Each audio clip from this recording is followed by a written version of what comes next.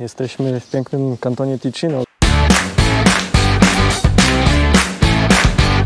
Dolinie rzeki Werzaska.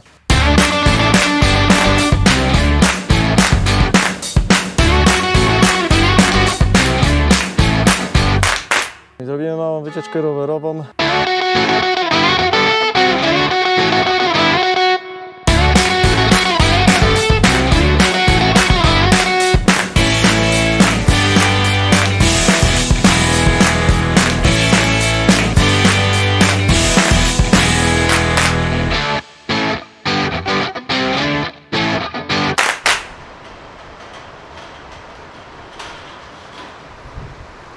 Bardzo fajna trasa.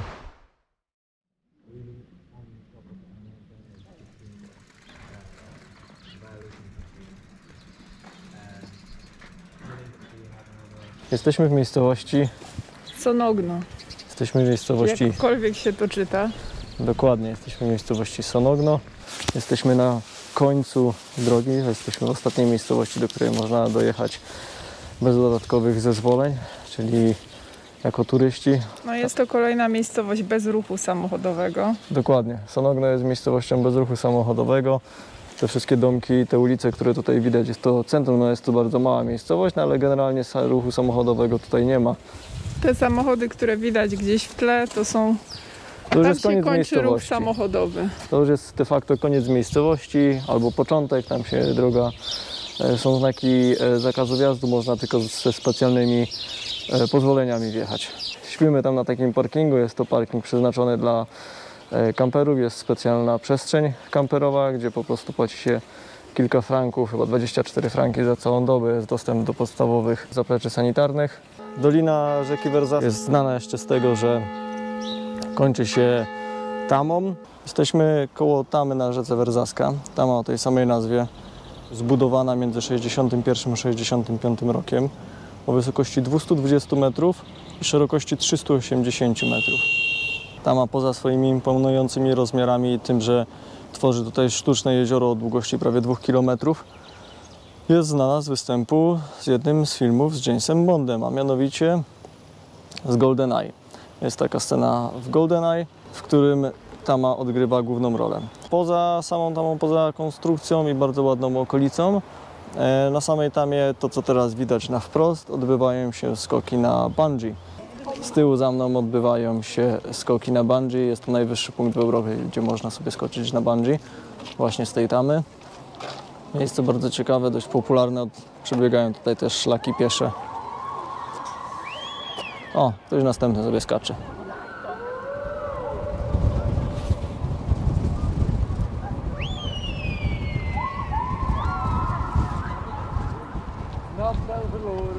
To nagrałem już trzy skoki. Jeszcze ciekawostka taka porównawcza. Tama na Versasce ma wysokość 220 metrów. Słynna zapora Hoovera w Stanach, na zachodzie Stanów. Znana z filmów i generalnie no, bardzo popularne, też bardzo turystyczne miejsce. Ma 224 metry. Też jest imponująca. Może wrzu- wrzucę teraz jakąś fotkę wykonaną przez nas, kiedy byliśmy w Stanach. E, Ale ta zapora tutaj na Versasce jest porównywalna wielkościowo z zaporą Hoovera, czy tamą Hoovera w Stanach. Różnica tylko 4 metrów wysokości. Jest to bardzo popularny punkt wycieczkowy e, w regionie, w okolicach Ascona Locarno. Tak więc sobota, niedziela są tutaj po prostu tłumy. I ze względu na te tłumy uciekamy stąd. Koło Sonogno jest kilka szlaków pieszych, jest kilka szlaków rowerowych. No dobra, przejdziemy się tutaj szybko i odpalamy tamte maszyny w tle i jedziemy.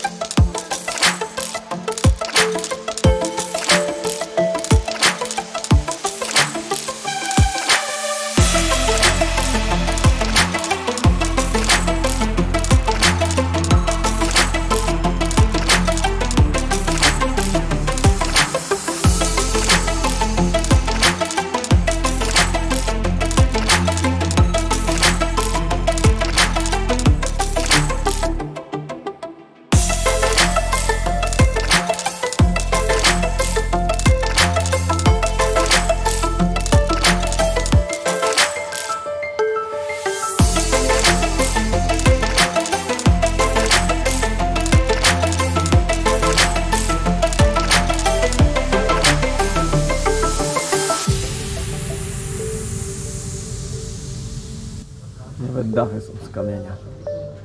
Kamienne dachy. Proszę.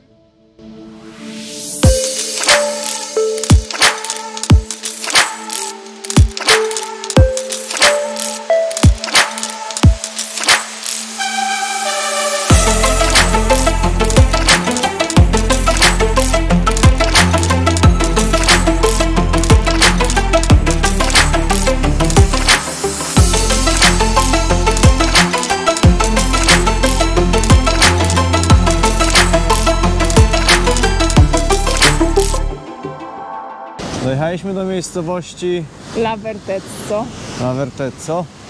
Czyli to jest mniej więcej w połowie drogi pomiędzy Sonogno, tam gdzie skąd ruszaliśmy, gdzie spaliśmy, a między tamą na rzece Werzaska. Miejscowość jest niesamowicie urocza. To jest widok na stare miasto, także jest tutaj piękny wodospad, przebiega tutaj rzeka. No jest jeden z bardziej rozpoznawalnych instagramowych mostków. Most się nazywa Ponta dei Salti. Jest to słynny instagramowy mostek właśnie w Dolinie Valversaska. Idziemy, idziemy na mostek.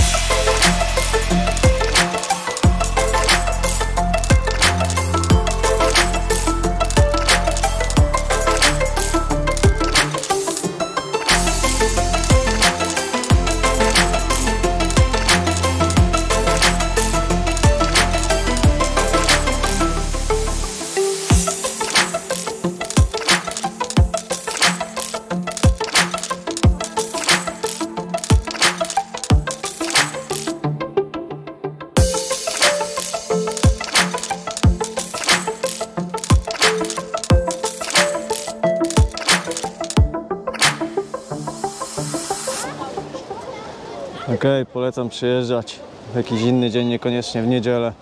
No niestety jesteśmy tutaj dzisiaj w niedzielę, jak widać. Tłumy, sporo turystów.